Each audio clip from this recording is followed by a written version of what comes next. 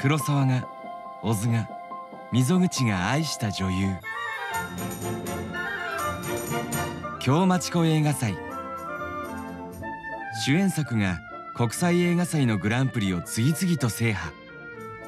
女の私に何が言えましょう。何をなさりますあなたは私のものになりました。お前さんそんなにうちが邪魔なんか。ビナティ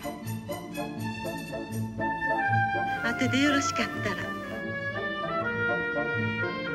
どんなに苦しくってもしなければならないことがあるもんです。その人はファム・ファタール。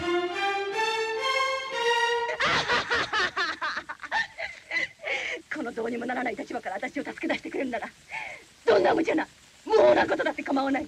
そう思ったんだ。全身全霊をかけて女を演じ続けて。